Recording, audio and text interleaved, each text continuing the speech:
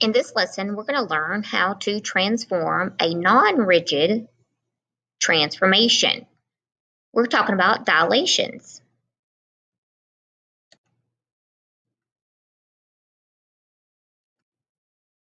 So a dilation is simply enlarging or reducing an image.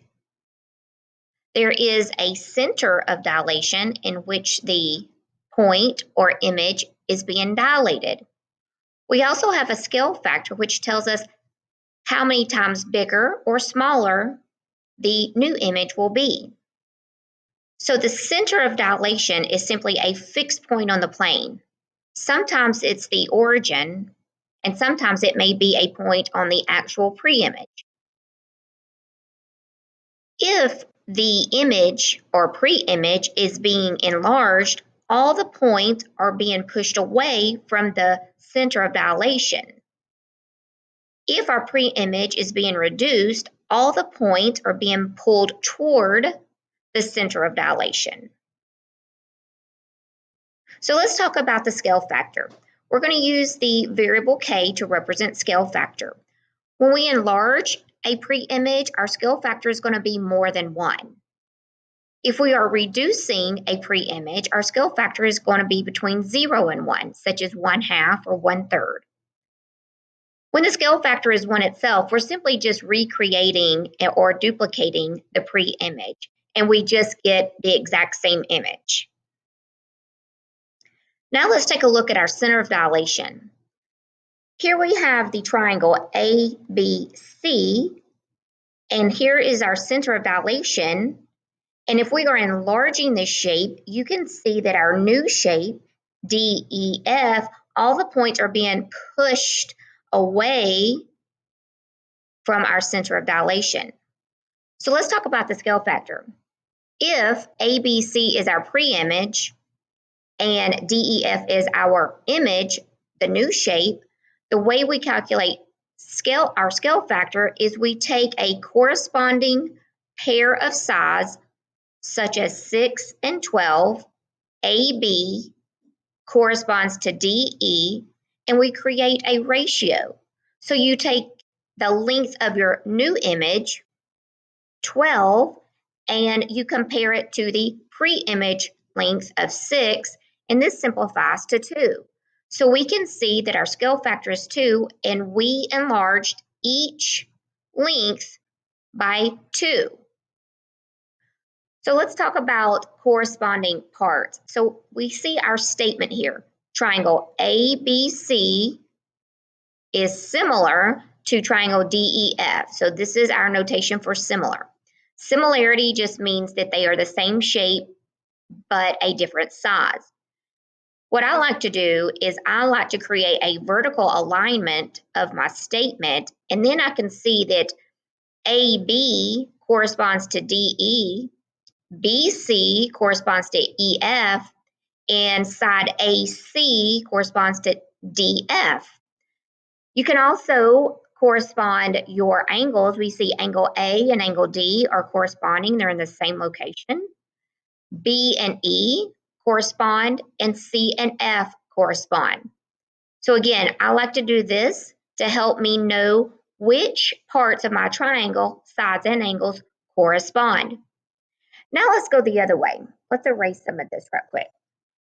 Let's say that our pre-image is triangle DEF. And if I wanted to know my scale factor, if DEF is our pre-image and ABC is our new image, and we are all of the points is being pushed toward the center of dilation. So to identify the scale factor, you take a measurement of the pre, I mean, excuse me, you take a measurement of the new image, such as 6, and you compare it to the length of the pre-image, 12, and we simplify, and this time we get 1 half as our scale factor instead of 2. And we can see that our pre-image is shrinking and being reduced. So our scale factor is between 0 and 1, indicating the image is shrinking. Now let's talk about the center, um, the dilation with the center at the origin. So here is the origin. We can see that ABCD, rectangle ABCD, is our pre-image. And you notice that our new image, A prime, B prime, C prime, D prime, is enlarged. All of your points are being pushed away from the center of dilation, which is the origin. So when the center, when the dilation has a center at the origin, this is your rule.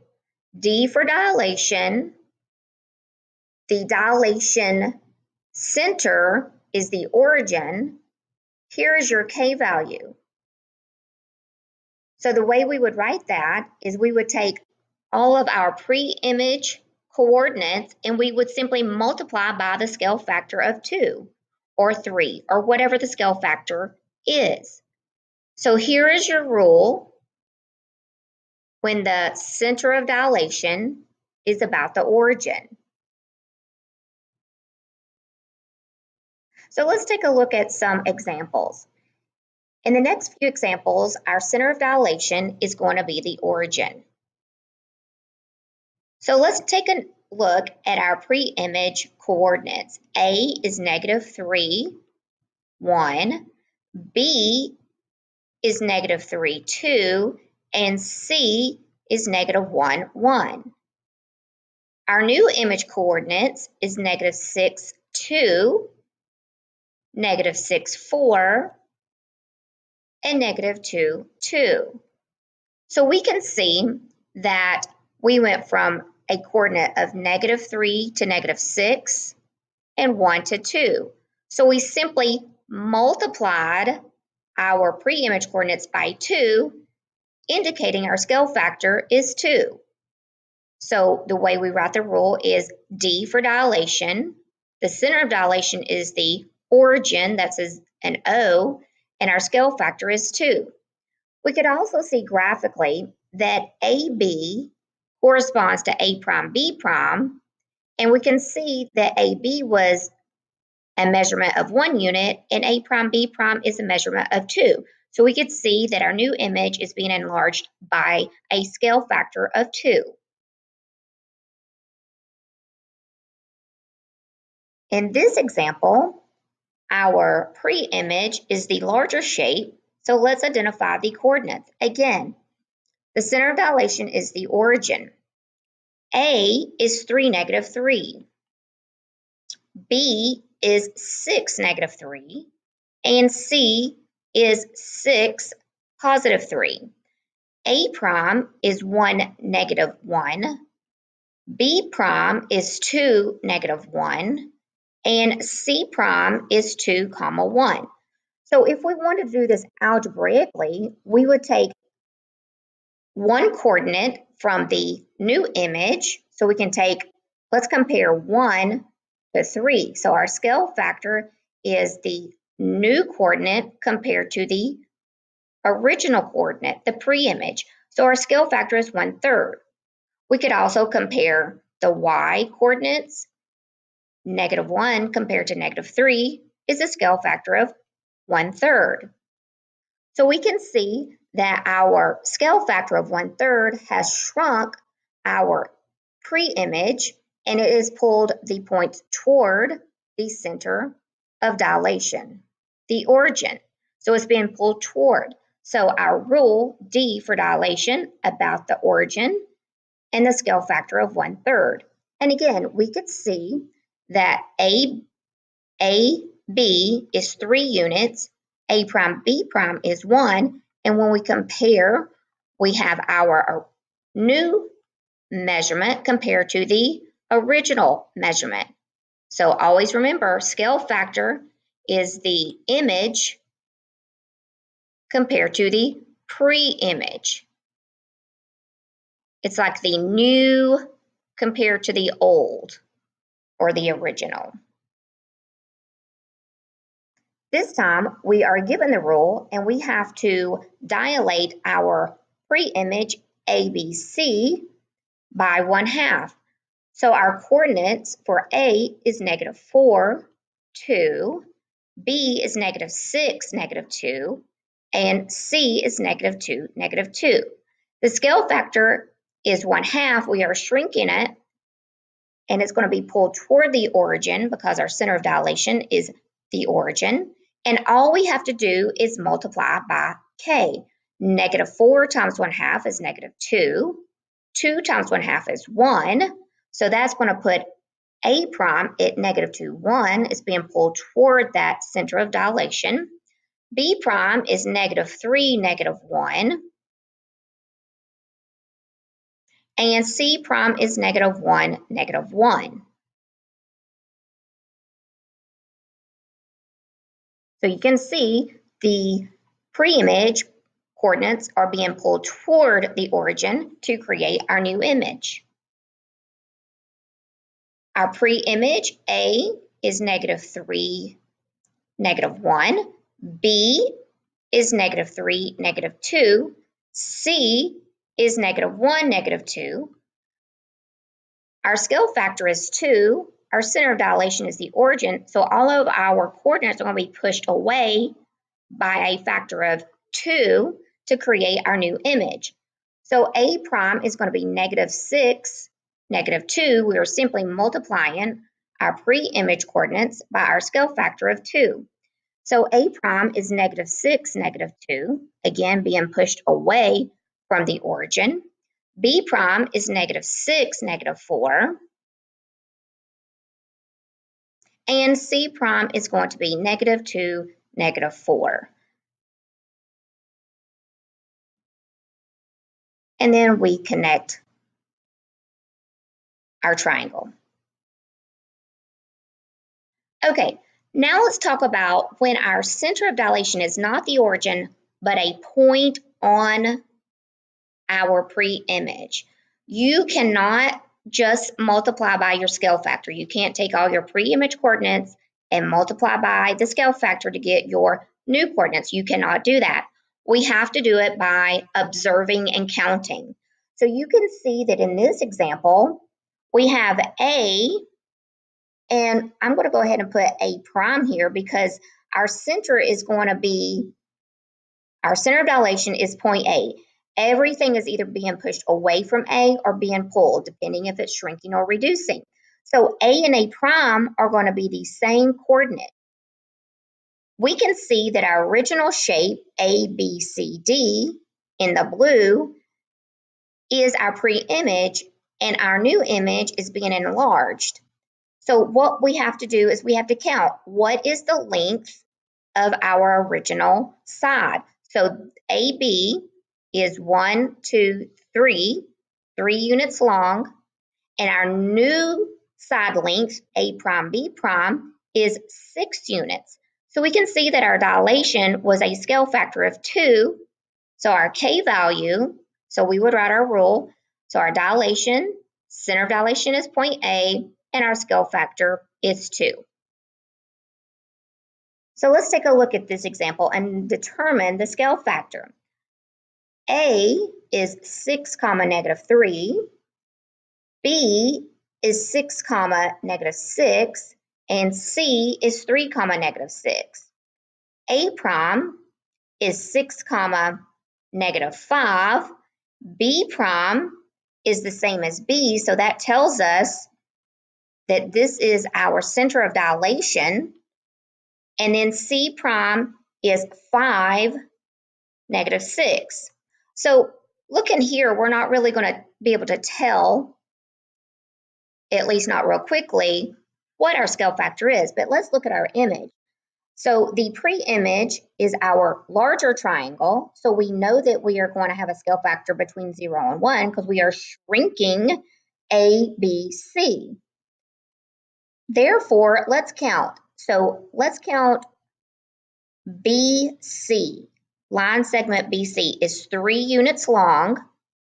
Our new B prime C prime is 1. So our scale factor is the new length one unit compared to the original three units. So our scale factor is K, and everything is being pulled toward point B. Therefore, our center of dilation is point B with a scale factor of one third. We are shrinking about point B. This time our pre-image is the small triangle. So our A value is negative 6, negative 1. We can see that A prime is the same, so we know that's our center of dilation. B is negative 6, 3. C is negative 4, negative 1. B prime is negative 6, 7. You can see our new coordinates are being pushed away, so we know we are enlarging. And then C prime is negative 2, negative 1. So let's count the original length. So we can just take a look at AC here. So we have two units. So that's the pre-image length. And then the new length, A prime, C prime is one, two, three, four. One, two, three, four. Four, so our scale factor is two. The yellow triangle is twice as big as the green triangle. So we have a dilation about point A with a scale factor of two. In this example, they are giving us the center of dilation, which is point A, and they're giving us the scale factor. So let's go ahead and identify our coordinates. For our pre-image, A is 1, negative 4. B is 0, 1. C is 7, negative 4. Our point of our center of dilation is, is point A, so that point is going to be the same. Because our scale factor is 1 half, we are shrinking our image, so everything is being pulled toward point A. So I'm simply going to count a, B, it is one, two, three, four units long. Half of that is two, it's been pulled toward. So our B prime is going to be one, negative two. AC is one, two, three, four, five, six units. C is being pulled towards C, so it's half of six, which is three units. So C prime is four, negative four. And then a prime is the same. So here is our new image, A prime, B prime, C prime. In this example, we see that our center of dilation is point C. So C is 6, negative 3. So it's going to remain the same. Everything is going to be pushed away from 6, negative 3 because we have an enlargement. So let's identify A 3, negative 3. B is 3, negative 1. So we're going to count the lengths. So CA is 1, 2, 3. It's going to be twice that, so it's going to be 9. So that's 3, 4, 5, 6, 7, 8, 9. So A prime, A is being pushed away from our center of dilation. And then AB is 2 units, so 3 times 2 is 6. So it's one, two, three, four, five, six. So B prime, again, is being pushed away from our center, center of dilation, which is C. And then let's go ahead and write that this is also C prime. So A prime is negative 3, negative 3. B prime is negative 3, 3. And again, when we're doing dilations, we are creating similar images. ABC and A prime, B prime, C prime are the same shape, but just different sizes. Everything was enlarged proportionately, meaning each side was multiplied by the same value, our scale factor, to create a similar shape. Now, without, let's just have the rule. We're not going to plot these. And our center, to do this without a graph, has to be about the origin. So we're simply going to multiply each coordinate by the scale factor. Multiplying by a unit fraction of one third is the same as dividing by three. So we get four comma negative two. In Our next example, our scale factor is 3 halves, which is enlarging. So I am going to multiply negative 6 times 3 halves. 2 goes into negative 6, negative 3, and negative 3 times 3 is negative 9. Then we multiply by 8. 8 times 3 halves. I divide 2 into 8, which is 4, and then 4 times 3 is 12. That's my new coordinate. z to z prime, we are just multiplying by a scale factor of 4, and here is our new coordinate. This time we are looking for the rule and without a graph, I am assuming that our center of dilation is the origin. Now, when we compare to create the scale factor, you take the new coordinate, such as negative 8, and compare it to the pre-image. So it's new over old. This simplifies by a factor of negative 4, and we get 2 over 3, so the scale factor is 2 thirds. In our second example, I'm going to create our scale factor using the new coordinate 12 and compare it to the original coordinate 8. Again, 4 divides into both of these, and 3 halves is our scale factor. Our last example, our scale factor is going to be negative 6, the new compared to the original. Both of these have a factor of negative 3, so I get 2 over 5. So we could see that in example 1 and 3, our pre-image was shrunk, and in problem 2, we had an enlargement because our scale factor was more than 1.